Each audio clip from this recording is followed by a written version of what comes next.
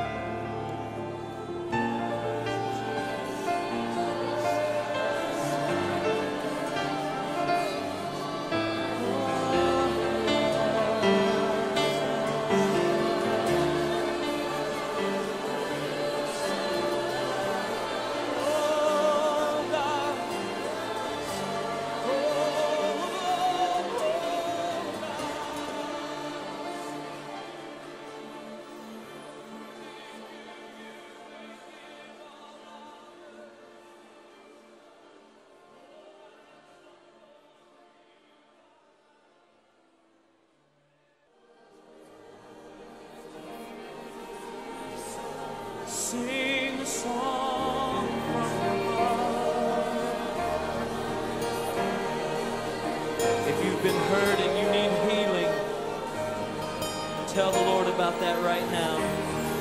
And the Lord's going to minister healing to you as He ministers healing to many, many, many others.